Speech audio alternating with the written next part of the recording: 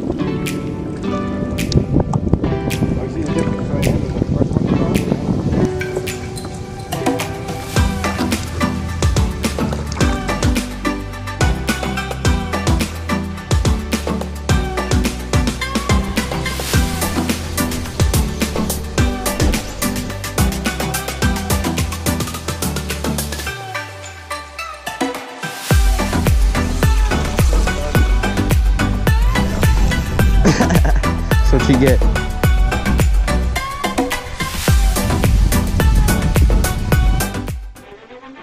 And that's tarpon fishing. Part of it. The rest of it? The rest is in those little things. The one you just didn't catch.